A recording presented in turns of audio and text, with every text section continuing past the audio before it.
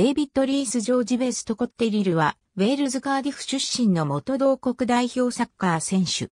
現役時代のポジションはミッドフィールダー。2004から05シーズンにより、ブリストルシティ FC で、プロキャリアをスタート。2008年8月、プレミアリーグのウィガンアスレティック FC に移籍。移籍金は200万ポンドで契約は3年。2008年2月、チャンピオンシップのシェフィールドユナイテッド FC にレンタル移籍。7月より完全移籍に移行。2010年1月、前年11月からレンタルで加入していたスウォンジーシティ AFC に完全移籍。2012年2月、バーンズリー FC にフリーで加入。2012年6月、ドンカスターローバーズ FC に移籍。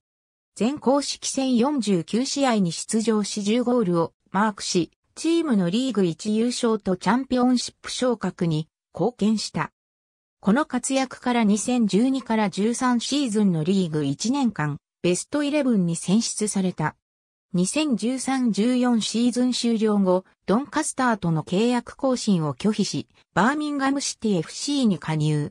2018年1月、インディアンスーパーリーグの ATK に加入。2014年10月13日現在。ありがとうございます。